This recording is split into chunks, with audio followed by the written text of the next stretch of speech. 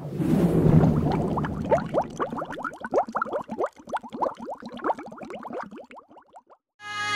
a waste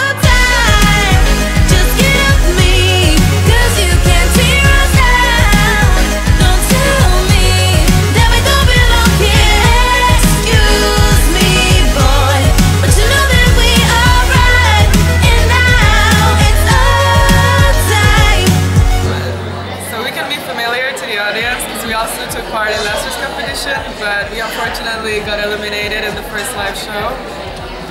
Yes, and we decided to um, enter the competition again this year too because we wanted to um, prove to the audience that our place is here.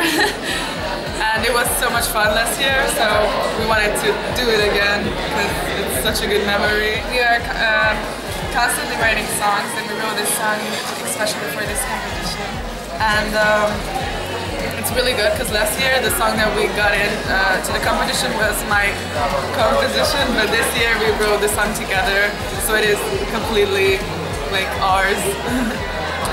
last year was a completely new thing for us, but this year we know what to expect and how to prepare.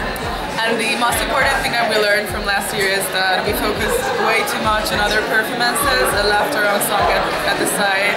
And this year we decided uh, focus uh, much more on our own song and try to make the best out of it and send the true message to the audience. We watched Eurovision last year and um, our favorite um, was Aram MP3 from Armenia.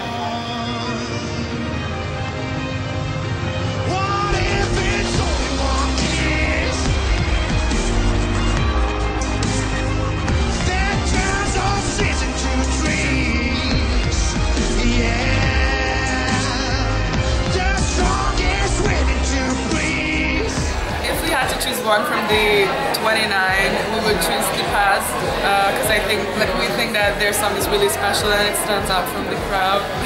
yeah, but we also like Karma Police and Sokrachka. This song has several meanings. Um, I think everyone can relate to it.